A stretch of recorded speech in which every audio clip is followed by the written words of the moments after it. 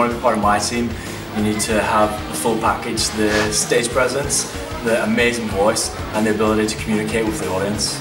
The only phobia that I have is pigeons. Uh, I just hate them moving about on the floor, described as rats with wings. Uh, I just don't like them, they come too close into your space, flying about all around your head. So the only real thing that I kind of fear is pigeons. And things that make me happy are going out with friends, um, seeing live music, and mixing the two together, just going to live music events with friends, coming to work every day, I love my job, I love working with young people, um, and just anytime I go back home, and spend time with family. Uh, this is right proper annoying me. Uh, so, I can't even do it. Hashtag Team McGillan.